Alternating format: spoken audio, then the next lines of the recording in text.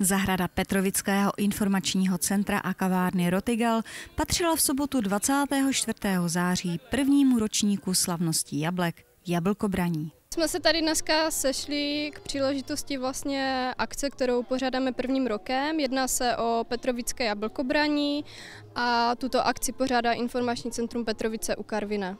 Na návštěvníky tak zde kromě samotných jablek čekali nejenom rozmanité pochutiny či nápoje jako mošt nebo burčák, ale také soutěž. Že vlastně prvním rokem tady pořádáme i soutěž o nejlepší jablečný štrůdl. Eh, pravidla byly takové, že vlastně akorát eh, ten, kdo se chce soutěže zúčastnit, tak musel donést eh, dva kusy štrůdlu, který vlastně upekl a plus recept na tento štrůdl a vlastně vítěze bude hodnotit více člena porota a vítěz obdrží vlastně odměnu z kavárny Rotigel a taky od obce. Byly pouze čtyři ty štrudly, ale hodnocení bylo velice těžké, protože vzhledově byly nádherné, některé zase chuťově jinak chutnaly, ale já jsem vždycky jako ženská měla za to, že štrudl je štrudlu a teď teprve vidím, že může být desetitisíce štrudlů a každý opravdu skutečně jiný, takže bylo to těžké, těžké. Nejvíce nakonec chutnal porodcům štrůdl paní Mileny Drapové.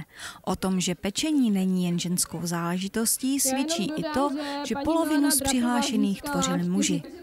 Se svým závinem se nejlépe, a to na druhém místě, umístil pan Lenghart. Tady jsem se nechal vyhecovat, že teda mám úplně závín, tak jsem ho upek. No. Atmosféru dávno zapomenutých jarmarečních dob pak po celou dobu zpestřoval spolek flašinetářů.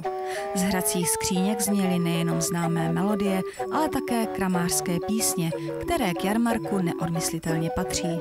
Jedna je konkrétní událost, která se opravdu stala, je obec Staraves směr Mošno, v letiště tam je obec Staraves a místní eh, kostelníkův syn vykrad kostelní kasičku a vedle je město Brušperk, které mělo hrdelní právo a to je vlastně poslední popravený v tom Brušperku za to, že vykrad tu kostelní kasičku, aby mohl si vzít svou milovanou udělat svatbu tak, tak vykrat prostě ty ukraty peníze, oni ho potom chytli, přišli na to a vlastně byl poslední popravený v tom městě Brušperku. Spatřit při práci bylo možno nejenom karvinského řezbáře Stanislava Filipa, ale i malíře a karikaturistu Václava Šípoše.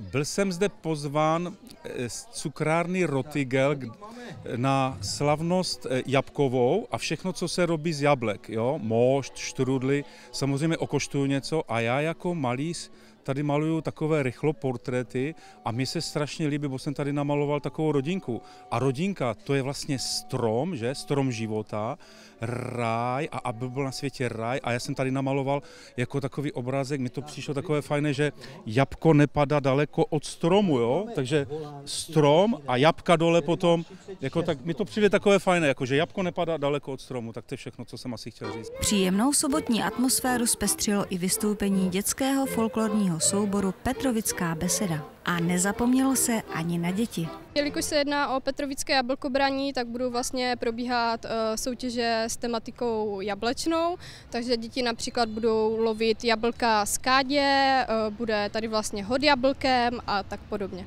A jak slavnosti hodnotí samotní návštěvníci? My jsme to prošli, mají to to hezké na poprvé, mají to super.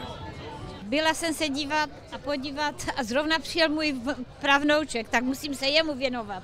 No, přilákaly mě tady ty celkové ty slavnosti, že je to tady nové a jsou tady samé dobré pochutiny a, a jablečné mošty, takže proč bych tady nepřišla? Přilákalo nás dobré jídlo a taky to, že nás tady vzala Valča.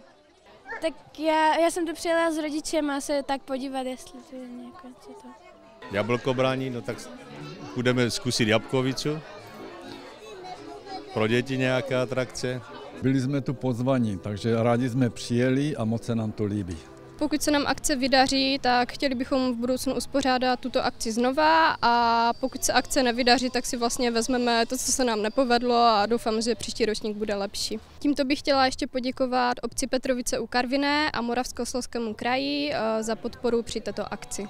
Z Petrovicu Karviné Eva Ilková.